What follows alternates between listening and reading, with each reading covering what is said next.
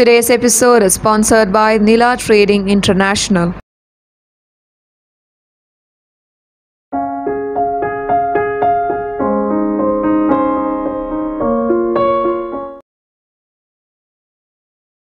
First is longest written constitution. ഇതിന്റെ ഏറ്റവും വലിയ ഒരു പ്രോമിനന്റ് ആയിട്ടുള്ള reason is actually geographical reasons അത് നമ്മളുടെ ആരും കുറ്റമല്ല അത് അങ്ങനെയായി പോയി. നമ്മൾ ജോഗ്രഫി ഒന്ന് എടുത്ത് നോക്കി ജോഗ്രഫി എന്ന് പറയുമ്പോൾ നമുക്കൊരു വെറൈറ്റി അല്ലെങ്കിൽ ഡൈവേഴ്സ് ആയിട്ടുള്ള കുറേ ആൾക്കാരാണ് നമ്മുടെ ഇന്ത്യൻ സ്റ്റേറ്റിലുള്ളത് അതായത് പറയില്ലേ യൂണിറ്റി ആൻഡ് ഡൈവേഴ്സിറ്റി പല രീതിയിലത്തെ റേസും പല രീതിയിലത്തെ കാസ്റ്റും പല റിലീജിയനും പല റീജിയൻസും പല ലാംഗ്വേജിലും സംസാരിക്കുന്ന കുറേ വിഭാഗത്തിൽപ്പെട്ട ആൾക്കാരുണ്ട്. അപ്പോൾ ഇവരെല്ലാവരും ഇൻക്ലൂഡ് ചെയ്തിട്ട് വേണം ഓരോ ആൾക്കാർക്ക് സ്പെഷ്യൽ പ്രൊവിഷൻസും സ്പെഷ്യൽ ആയിട്ടുള്ള ആനുകൂല്യങ്ങളും കാര്യങ്ങളും പറ്റി മെൻഷൻ ചെയ്യണം. ഇപ്പോൾ ഒരാൾ പോലും nobody should be left behind ഈ ഒരു ഐഡിയ ഓഫ് തോട്ട് ഉള്ളതുകൊണ്ടാണ് അത് ഇത്രയും ലെങ്ത് ആയി പോയത്. അതായത് എല്ലാവരും ഇൻക്ലൂഡ് ചെയ്ത് എല്ലാവർക്കും പ്രൊവിഷൻസും എല്ലാവർക്കും കാര്യങ്ങളൊക്കെ കൊടുക്കണം. ഇൻക്ലൂഡ് ചെയ്യണം. അതൊരു റീസൺ പിന്നെ separate provisions for state and centre and the inter relationships അതായത് യൂണിയന്റെയും സ്റ്റേറ്റിന്റെയും രണ്ടിന്റെയും കാര്യങ്ങൾ ഒന്നിച്ചാണ് എഴുതിയത്. അതുകൊണ്ട് തന്നെ ഡബിൾ പോയി. അതുപോലെ തന്നെ ഒരു systematic elaboration on every topic ഈ കുറേ റീസൺസ് കൊണ്ടാണ് ഇത് ഇലാബറേറ്റ് ആൻഡ് ലോങ് പോയത്. പിന്നെ പറഞ്ഞല്ലോ നമുക്ക് ഒരു ഫെഡറലും ആണ് അതുപോലെ തന്നെ ഒരു ക്വാസി ഫെഡറലിസം എന്നാണ് പറയുന്നത്.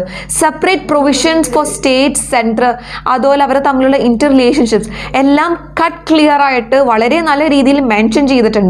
അപ്പോൾ അത്രയും മെൻഷൻ ചെയ്യുമ്പോൾ കൂടുതൽ ഇലാബറേഷൻ അല്ലെങ്കിൽ കൂടുതൽ നമുക്ക് ലോങ് ആയി വരും. പിന്നീടുള്ളതാണ് the borrow provisions from several sources and several other constitutions of the world yes ഇതിനെ കോപ്പിഡ് അല്ലെങ്കിൽ ബോറോഡ് എന്ന് പറഞ്ഞക്കാട്ടും കൂടുതൽ റാം സാക്കിംഗ് എന്നാണ് പറയുന്നത് അംബേദ്കർ. അതായത് ഇപ്പോൾ ഫോർ എക്സാമ്പിൾ ഇപ്പോൾ എനിക്കൊരു കുട്ടിയുണ്ട്. ആ കുട്ടീനെ എങ്ങനെ വളർത്തേണ്ടതെന്ന് എനിക്കറിയില്ല. അതിന് മുമ്പായിട്ട് ഇപ്പോൾ എന്റെ ഫ്രണ്ട്സിന്റെയോ അല്ലെങ്കിൽ എന്റെ റിലേറ്റീവ്സ് എങ്ങനെയാണ് അവൾ വളർത്തിയത്? അവരെ കുറേ ഗൈഡ് ലൈൻസും കാര്യങ്ങൾ കാണുമ്പോൾ എനിക്ക് അവർ നടത്തിയ കുറേ ട്രയൽ ആൻഡ് എറർ മെത്തേഡിലൂടെ എനിക്ക് കുറേ കാര്യങ്ങൾ മനസ്സിലാക്കാൻ പറ്റും. അതായത് അവരുടെ തെറ്റിൽ നിന്ന് നമുക്ക് കുറേ പാഠങ്ങൾ കിട്ടും. അപ്പോൾ അതുകൊണ്ട് തന്നെ പല രീതിയിലും പല കാര്യങ്ങളൊക്കെ നമ്മൾ ഇൻക്ലൂഡ് ചെയ്തിട്ടുണ്ട് ഇംപ്ലിമെന്റ് ചെയ്തിട്ടുണ്ട്.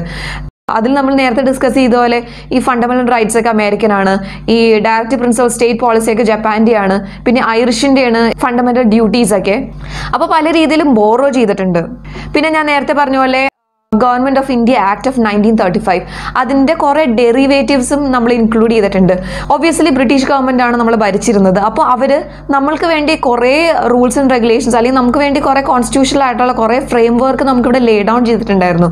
അപ്പോൾ അതിൽ നിന്ന് ഡിറൈവ് ചെയ്താണ് വീണ്ടും രണ്ടാമത് കോൺസ്റ്റിറ്റ്യൂഷൻ എഴുതി കൊണ്ടുവന്നത് അതുകൊണ്ടാണ് ഈ നയന്റീൻ തേർട്ടി ഫൈവത്തെ ഗവൺമെന്റ് ഓഫ് ഇന്ത്യ ആക്ട് നമ്മൾ ഇൻക്ലൂഡ് ചെയ്തത്. പിന്നെ അതുപോലെ തന്നെ നേരത്തെ ഡിസ്കസ് ചെയ്ത പോലെ ഓരോ കാസ്റ്റിനും ഓരോ ട്രൈബ്സിനും ബാക്ക്വേർഡ് ആയിട്ടുള്ള ഓരോ കാറ്റഗറിയും ഇപ്പോൾ വുമൺ ഇപ്പോൾ ചിൽഡ്രൻ ആണെങ്കിൽ പോലും പതിനാല് വയസ്സിനടിയിൽ അങ്ങനെ ജോലി ചെയ്യാൻ പാടില്ല. റൈറ്റ് ടു എഡ്യൂക്കേഷൻ ഇങ്ങനത്തെ കുറേ കാര്യങ്ങളൊക്കെ ഇൻക്ലൂഡ് ചെയ്ത് കൊണ്ടാണ് it became the lengthiest constitution കാരണം നമ്മുടെ സൊസൈറ്റി തന്നെ കുറേ ഈവൽസും കുറേ ശരിയല്ലാത്ത കാര്യങ്ങളുണ്ടായിരുന്നു. ഇപ്പോൾ ചൈൽഡ് ലേബർ ഹ്യൂമൻ ട്രാഫിക്കിംഗ് അങ്ങനത്തെ കുറേ കാര്യങ്ങൾ നമ്മുടെ സൊസൈറ്റിയിൽ അന്ന് ഉണ്ടായിരുന്നു. അതുകൊണ്ട് തന്നെ അതിനെ കേർബ് ചെയ്യാൻ വേണ്ടി സ്പെഷ്യൽ പ്രൊവിഷൻസും സ്പെഷ്യൽ കാറ്റഗറി ഇൻക്ലൂഡ് ചെയ്യേണ്ട വന്നു. അപ്പോൾ അതുകൊണ്ടാണ് പിന്നെയും ലോങ് ആയി വന്നത്.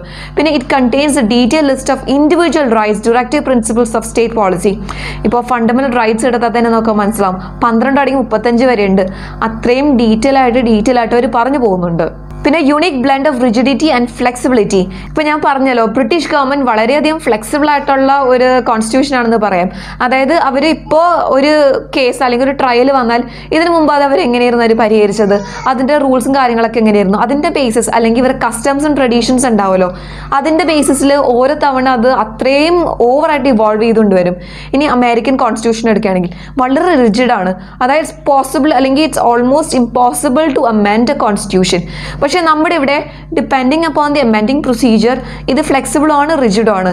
ഇപ്പോൾ ചില കാര്യങ്ങൾ വളരെ റിജിഡാണ് ഇപ്പോൾ നമ്മുടെ പ്രിയാമിലുള്ള കാര്യം we as a nation socialist secular ഈ സോവറൻ ആയിട്ടുള്ള സംഭവം ഈ കാര്യങ്ങൾ ഒരിക്കലും മാറ്റില്ല. ഇനിയിപ്പോൾ നാളെ ഒരു കമ്മ്യൂണിറ്റി അല്ലെങ്കിൽ ഒരു റിലീജിയസ് കമ്മ്യൂണിറ്റിയുടെ ഒരു പൊളിറ്റിക്കൽ ലീഡർ തന്നെയാണെങ്കിൽ ഇപ്പോൾ ഞാൻ ഈ സെക്യുലർ എന്നുള്ള സംഭവം മാറ്റുകയാണ് അല്ലെങ്കിൽ എന്റെ പാർട്ടിയാണ് കൂടുതൽ മെജോറിറ്റി ഉള്ളത് അപ്പോൾ ഞങ്ങൾക്ക് we have the rights to amend it അതുകൊണ്ട് ഞാൻ ഈ സെക്യുലർ എന്നുള്ളൊരു കാര്യം മാറ്റി എന്റെ റിലീജിയനാണ് ഇമ്പോസ് ചെയ്യാൻ പോകുന്നത്. ഈ സ്റ്റേറ്റ് ഗവൺമെന്റിന് ഒരു റിലീജിയൻ വെക്കാൻ അതൊന്നും പറ്റില്ല. ചില കാര്യങ്ങൾ ഇറ്റ്സ് വെരി റിജിഡ് പക്ഷെ ചില കാര്യങ്ങൾ ഇറ്റ്സ് ഫ്ലെക്സിബിൾ നമ്മൾ പറഞ്ഞല്ലോ അംബേദ്കർ പറയുന്നത് നമ്മുടെ constitution it's a living constitution അതിന്റെ ഓരോ കാലഘട്ടത്തിനനുസരിച്ച് ഓരോ സമയം ഓരോ സൊസൈറ്റിയത്തെയും ഓരോ സോഷ്യോ എക്കണോമിക് കാറ്റഗറി അല്ലെങ്കിൽ ആ അവസ്ഥകളനുസരിച്ച് മാറ്റം വരുത്തണം. ഇപ്പോൾ some parts can be amended by ordinary law some amendments are also required to be ratified by the legislators of not less than one half of state before being presented to the president for assent പിന്നെ India as a sovereign socialist secular democratic republic ഇതിൽ socialist forty second അമെൻമെന്റ് ആക്ടിലാണ് അത് add ചെയ്തത്. അതായത് ഇന്ത്യയിൽ ഓരോ റെപ്രസെന്റേറ്റീവിനെ എലക്ട് ചെയ്യുന്നത് യൂണിവേഴ്സൽ അഡൽട്ട് ഫ്രാഞ്ചൈസ് അതായത് പതിനെട്ട് വയസ്സ് കഴിഞ്ഞ് ഒരു ഇന്ത്യൻ സിറ്റിസണിന് തീരുമാനിക്കാം. പിന്നെ India as a sovereign means അത് നമ്മുടെ ഇന്റേണലും എക്സ്റ്റേണൽ മാറ്ററും ഫ്രീലി ആയിട്ടാണ്. അതായത് we are not under any other influence അതായത് India as a sovereign means we are not influence by any external factors നമ്മുടെ ഇന്റേണലും അല്ലെങ്കിൽ എക്സ്റ്റേണൽ ആയിട്ടുള്ള അഫയേഴ്സ് നമ്മൾ ഒറ്റയ്ക്ക് ഇൻഡിവിജ്വൽ എന്നുള്ള രീതിയിലാണ് നമ്മൾ പരിഹരിക്കുന്നത്. പണ്ട് ഒരു കൊളോണിയൽ ഗവൺമെന്റ് ആയിരുന്നു. അതായത് ബ്രിട്ടീഷ് ഗവൺമെന്റ് അടിയിൽ അല്ലെങ്കിൽ ബ്രിട്ടീഷ് ക്രൗണിന്റെ അടിയിലുള്ള ഒരു രാജ്യമായിരുന്നു. പക്ഷേ we are part of the commonwealth nations ഈ ക്രൗണിന്റെ അടിയിലുള്ളത്. പക്ഷേ ഹവർ നമ്മളൊരു ഇൻഡിപെൻഡന്റ് ആയിട്ടുള്ള നേഷനാണ് we are not under any other പുറത്തുനിന്നുള്ള ഒരു ഇൻഫ്ലുവൻസോ അല്ലെങ്കിൽ ഒരു ക്രൗണോ അല്ലെങ്കിൽ വേറൊരു രാജ്യത്തിന്റെ ഇൻഫ്ലുവൻസിന്റെ അടിയിലല്ല. പിന്നെ the term socialist was add in forty second അമെൻമെന്റ് ഞാൻ പറഞ്ഞു. അതായത് achievement of socialistic goals through democratic evolutionary and non violent means പക്ഷേ അതുപോലെ തന്നെ ഇന്ത്യ ഒരു മിക്സ്ഡ് എക്കോണമിയാണ് സോഷ്യലിസ്റ്റും ആണ് അതുപോലെ ക്യാപിറ്റലിസ്റ്റും ആണ്. അതുകൊണ്ട് കംപ്ലീറ്റ് സോഷ്യലിസ്റ്റ് നമുക്ക് പറയാൻ പറ്റില്ല.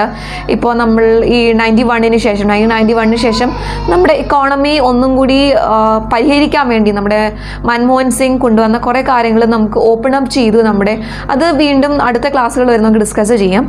പിന്നെ ബൈ സെക്യുലർ മീൻസ് എല്ലാ റിലീജിയനും ഈക്വൽ ഇമ്പോർട്ടൻസ് ആണ്. ഒരിക്കലും ഈ സെക്ട് അല്ലെങ്കിൽ ഈ കാറ്റഗറി ഓക്കെ നമ്മുടെ മെജോറിറ്റി റിലീജിയൻ ഇതാണ്. അതുകൊണ്ട് നിങ്ങൾക്ക് കൂടുതൽ പരിഗണന അങ്ങനെയൊന്നുമില്ല.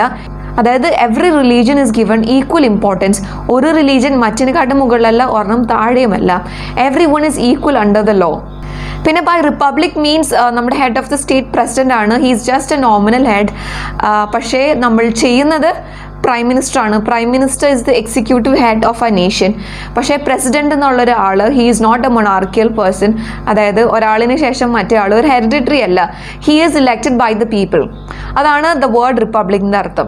പിന്നെ പാർലമെന്ററി സിസ്റ്റം ഓഫ് ഗവൺമെന്റ് എന്ന് പറഞ്ഞാൽ പാർലമെന്റ് ആണ് ഈ കൗൺസിൽ ഓഫ് മിനിസ്റ്റേഴ്സിനെ കൺട്രോൾ ചെയ്യുന്നത്. അതുകൊണ്ടാണ് പാർലമെന്ററി സിസ്റ്റം എന്ന് പറയുന്നത്. First and foremost what is parliamentary system എന്നൊക്കെ ഒന്ന് മനസ്സിലാക്കി വെക്കാം ഈ പാർലമെന്റിൽ മൂന്ന് എലമെന്റ്സ് ആണുള്ളത്. ഫസ്റ്റ് ഇസ് പ്രസിഡന്റ് പിന്നെ ലോക്സഭ രാജ്യസഭ. പിന്നെ ഈ ലോക്സഭ രാജ്യസഭ രണ്ട് കാറ്റഗറി ഉണ്ട് നമുക്ക്. പിന്നെ പറഞ്ഞല്ലോ പാർലമെന്റിൽ ഇതിൽ നമുക്ക് നോമിനൽ ഹെഡ് ഉണ്ട് അതാണ് പ്രസിഡന്റ്. പിന്നെ എക്സിക്യൂട്ടീവ് ഹെഡ് ആണ് പ്രൈം മിനിസ്റ്റർ. ബാക്കിയുള്ള രാജ്യങ്ങളിലും പ്രസിഡന്റ്. ഇപ്പോൾ ട്രംപ് ആയാലും ഒബാമ ആയാലും അവിടുത്തെ പ്രസിഡന്റ് ആണ് എക്സിക്യൂട്ടീവ് ആയിട്ടുള്ള ഹെഡ്. പക്ഷെ നമ്മുടെ ഇവിടെ ഈ ബ്രിട്ടീഷുകാരുടെ ആ ഒരു കോൺസ്റ്റിറ്റ്യൂഷൻ ഫോളോ ചെയ്തുകൊണ്ട് ഇപ്പോൾ ബ്രിട്ടീഷിൽ അവിടുത്തെ പ്രസിഡന്റ് എന്ന് പറഞ്ഞാൽ അവിടുത്തെ ഭരിക്കുന്ന രാജാവാണ്. പക്ഷെ നമ്മുടെ ഇവിടെ പ്രസിഡന്റ് എന്ന് പറഞ്ഞാൽ ഒരു നോമിനൽ ഹെഡാണ് കുറേ പവേഴ്സ് ഉണ്ട് നമ്മുടെ പ്രസിഡന്റിന്റെ കയ്യിൽ പക്ഷെ എന്നാൽ പോലും എക്സിക്യൂട്ടീവ് ഹെഡ് ആരാണെന്ന് വെച്ചാൽ it's always the prime minister പിന്നെ ഞാൻ പറഞ്ഞല്ലോ ബൈക്കാമൽ സിസ്റ്റമാണ് ലോക്സഭ രാജ്യസഭ. ഈ ലോക്സഭ ഒരു ടെമ്പററി ആയിട്ടുള്ള ഒരു ക്യാബിനറ്റ് ആണ്. അതാണ് വേണമെങ്കിൽ ഈ പ്രസിഡന്റിന് നമുക്ക് പ്രസിഡന്റ് റൂൾ വന്നാൽ അല്ലെങ്കിൽ ഒരു എമർജൻസി വന്നാൽ അത് പിരിച്ചുവിടാം. ഇപ്പൊ നമ്മുടെ കേരളയിൽ പണ്ട് പിരിച്ചുവിട്ടിട്ടുണ്ട്. പക്ഷെ രാജ്യസഭ എന്നുള്ളത് ഒരു പെർമനന്റ് ആയിട്ടുള്ള ബോഡിയാണ് പക്ഷെ ഹൗവർ അതിൽ അതിലും വരും റിട്ടയർമെന്റ് വരും. എല്ലാ രണ്ടു വർഷം കൂടുമ്പോൾ റിട്ടയർമെന്റ് ഉണ്ട് വൺ ഫോർത്ത് ഒക്കെ. അത് നമ്മൾ കൂടുതൽ ഡീറ്റെയിൽ ആയിട്ട് എക്സ്പ്ലെയിൻ ചെയ്യാം. പിന്നെ prime minister's real executive and head of the council of ministers ഇപ്പം നമുക്ക് ഇന്ത്യയിൽ കുറേ കൗൺസിൽ ഓഫ് മിനിസ്റ്റേഴ്സ് ഇല്ലേ? ഈ എഡ്യൂക്കേഷൻ പിന്നെ എച്ച് ആർ പിന്നെ വുമൺ പിന്നെ പല പല കൗൺസിൽസും ക്യാബിനറ്റ് ഓഫ് മിനിസ്റ്റേഴ്സ് ഉണ്ട്. അപ്പോൾ ഇവരെല്ലാവരും ഹെഡ് ചെയ്യുന്നത് ഒരു അഡ്മിനിസ്ട്രേറ്റീവ് ലീഡറാണ് പ്രൈം മിനിസ്റ്റർ പിന്നെ ഉള്ളതാണ് യൂണിവേഴ്സൽ അഡൽട്ട് ഫ്രാഞ്ചൈസ് അതായത് ഞാൻ പറഞ്ഞല്ലോ ഒരാൾക്ക് ഒരു vote. Even if you are the president അല്ലെങ്കിൽ ഏറ്റവും താഴ്ന്ന രീതിയിൽ ജീവിക്കുന്ന ഒരാളാണെങ്കിൽ പോലും യു ഹാവ് ഈക്വൽ ഇമ്പോർട്ടൻസ് നിങ്ങളുടെ വോട്ടിന് ഒന്നായിട്ടേ കണക്കാക്കുള്ളൂ. അത് പണ്ട് ഇരുപത്തൊന്ന് വയസ്സായിരുന്നു. നമുക്ക് കോൺസ്റ്റിറ്റ്യൂഷൻ ആയപ്പോഴേക്കും അത് പതിനെട്ട് വയസ്സായി. പിന്നെ അതുപോലെ തന്നെ പണ്ട് നമുക്ക് ലിമിറ്റഡ് ആയിട്ടുള്ള ഫ്രാഞ്ചൈസ് ആയിരുന്നു. അതായത് കുറേ റെപ്രസെന്റീവ് ആയിട്ടുള്ള ആൾക്കാരായിരുന്നു വോട്ട് ചെയ്യുന്നത്. ഇപ്പോൾ no it doesn't matter who you are from way you are from ഒരു സിറ്റിസൺ ആയിരിക്കണം. അത്രേ ഉള്ളൂ. പതിനെട്ട് വയസ്സ് കഴിഞ്ഞിട്ടുണ്ടെങ്കിൽ നിങ്ങൾക്ക് വോട്ട് ചെയ്യാം. അതാണ് യൂണിവേഴ്സിൽ എല്ലാവർക്കും വോട്ട് ചെയ്യാനുള്ള അധികാരമുണ്ട്. അപ്പോൾ ഇന്നത്തെ ക്ലാസ് ഇത്രയേ ഉള്ളൂ. നിങ്ങൾ തറവോട്ട് പഠിക്കുക. പഠിക്കാൻ പറ്റട്ടെ. താങ്ക്